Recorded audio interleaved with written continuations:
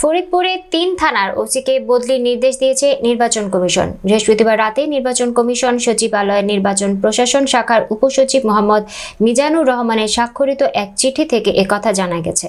ফরিদপুরে যে তিনটি থানার ওসিদের বদলির নির্দেশ দেওয়া হয়েছে, তারা হলেন ফরিদপুর কোতোয়ালি থানার ওসি মোহাম্মদ শহীদুল ইসলাম, সদরপুর থানার ওসি মোহাম্মদ মামুন আল রশিদ ও ভাঙার OC M A Jalil.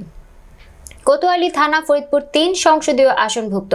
ভাঙা ও সদরপুর সংসদীয় আসন ফরিদপুর চারের অন্তর্গত।